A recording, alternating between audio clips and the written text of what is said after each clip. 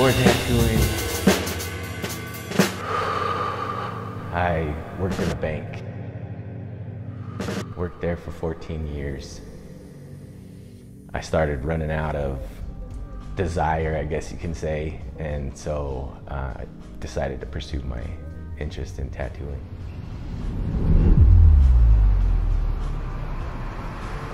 My style is more of black and gray fine line style tattooing. I do like the dark side, and by that is more of the the evil demons, skulls, dripping kind of style tattooing is what I really like.